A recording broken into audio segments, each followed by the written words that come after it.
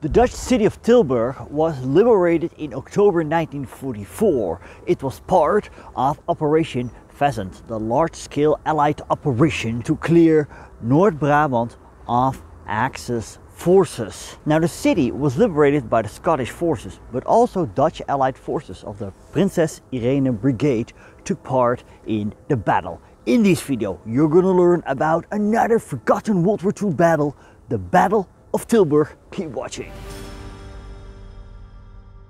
Hey, good to have you back on the channel. If you're new, I'm Stefan, I'm a Dutch history teacher and I like to cover history on location for you. And I'm now in the Dutch city of Tilburg on the Vrijheidspark, uh, Freedom Park, and you see different war memorials. And this is a memorial of a Scottish World War II soldier because the Scottish forces liberated this city in October 1944, although Dutch Allied forces also took part in the battle. If you find these on location videos interesting, consider subscribing and also hit that notification bell. The city of Tilburg is located in the south of the Netherlands, in the province of North Brabant. During the 19th century, the textile industry grew and Tilburg was nicknamed Wolstad, Wool City.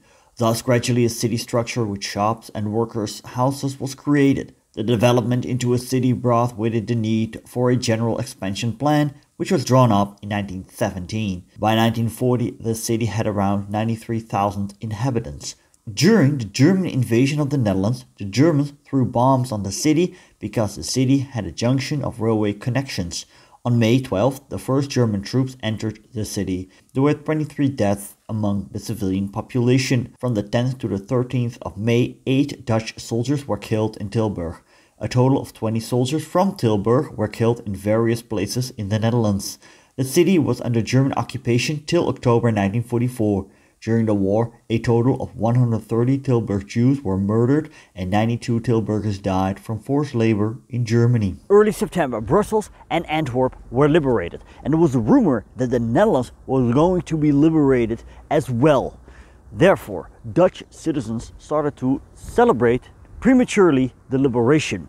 Many German soldiers actually believed this, and many left their posts, but they soon returned. As it turned out, the Allies weren't showing up yet. These events occurred on September 5th and are known as Dolle Dinsdag or Mad Tuesday. Maastricht was the first Dutch city to be liberated mid-September. The Allies then launched Operation Market Garden, an operation which failed in its primal objective. Yet, the Allies did create a corridor, and from there they launched Operation Pheasant, to liberate the rest of North Brabant, and Tilburg was one of the cities that was to be liberated. The German forces west of the corridor were led by Gustav Adolf von Zangen. He knew very well he could not stop the Allies and made preparations for a withdrawal. This was against the orders of his superiors. He came to the conclusion that fighting a delaying fight was the only viable option, Von Zangen wanted to compensate for the loss of terrain with saving time. On the one hand, he did not wish to jeopardize the safe retreat. On the other hand, the impression was not to be created that the 15th Army was seeking a safe escape across the major rivers without resistance. And with Allied air superiority, this was not going to be an easy task. Von Zangen had three German army corps under his command, the one in Zeeland and West Brabant, one in Midden Brabant, and the one in Den Bosch. He soon had to give up the latter. As reserve, the weak 256th Volksgrenadier Division arrived mid-October in Tilburg. He received mobile units like Kampfgruppe Schill, but was clearly not prioritized, and this was because German High Command laid the focus on the Battle of Aachen as well as the preparations for the Ardennes offensive. As Polish, American, Canadian, and British forces advanced from Belgium, different Dutch cities and towns were liberated. As the fighting in West Brabant intensified, von Zangen directed most of his forces there. This happened on the 8th of October. He expected Allied forces to advance from the corridor shortly after. Part of the 12th British Army Corps was the 15th Scottish Division under command of General Barber. On the 26th of October, Oisterwijk was liberated. From the south, the 4th Armored Brigade reached Tilburg.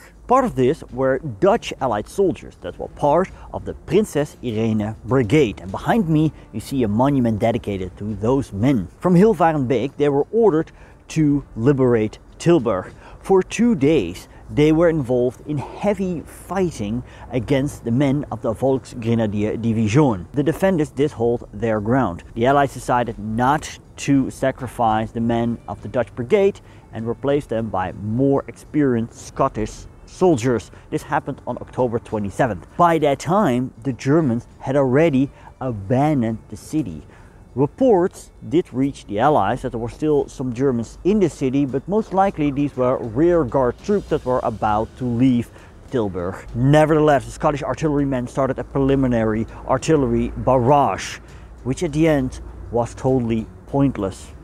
Needless to say, the civilians of the city suffered severely, and especially those living in the southern quarter of Broekhoven, as one student wrote. Closer and closer, the projectiles hit. I fall flat on my stomach next to a garden wall. More people huddle against the houses. Others run across the street. Still others lie on the road. During the barrage, members of the block crew came to the aid of those at need, were hit by shrapnel, and as the liberators cautiously entered the city, they were met with unprecedented enthusiasm, while the dead and wounded were silently tended to by those who had set themselves the task of bringing relief to those who experienced the dark side of the liberation. The city of Tilburg and especially the part of Broekhoven saw significant damage, yet the fighting was of a smaller scale compared to Den Bosch that saw much more intensive street fighting. The liberation of Tilburg claimed more victims in Tilburg than the beginning of the war. The hard truth is that Tilburg was liberated on October 27, 1944, but the war was far from over. In the liberation month of October 44, 78 people were killed in Tilburg by artillery bombardments. Between October 27th and May 5th, liberation of the Netherlands, 71 Tilburgers were killed by German missiles, the V1 and V2 rockets, or mines. If you want to have an overview of the liberation of the Netherlands, click here.